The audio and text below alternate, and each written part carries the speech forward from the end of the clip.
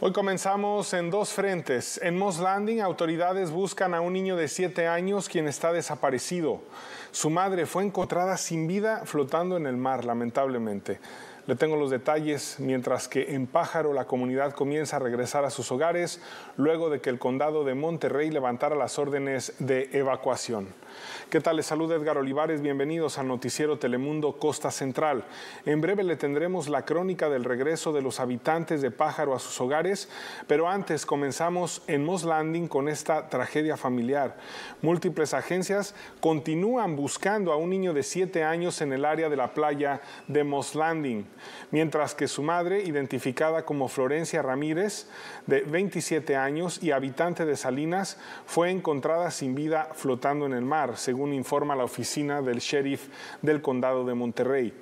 La Guardia Costera de Estados Unidos dice que un niño de tan solo tres años de edad, hermanito del niño desaparecido, fue quien pidió la ayuda a una persona que se encontraba cerca de Moss Landing, esto alrededor de las 7 de la noche del miércoles.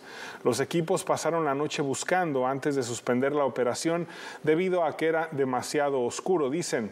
Las operaciones de búsqueda se reanudaron alrededor de las 8.30 de la mañana de este jueves y continúan. Hablamos con la madre de Florencia, quien dijo sentirse devastada por la situación me siento, pues me siento muy triste porque es que no estamos esperando eso pues, para que pase eso, porque como ella que estaba bien, no está mala, no estaba o algo que estaba pasando. Sí, nos llamé llamada como a las 6:38. Es la única llamada lo que hice y dijo que estaba aquí a la playa con los niños. Y ¿dónde está? Le dije, y entonces dijo que estoy aquí a la playa con los niños. La abuela identificó a los niños como Miguelito y Edgar.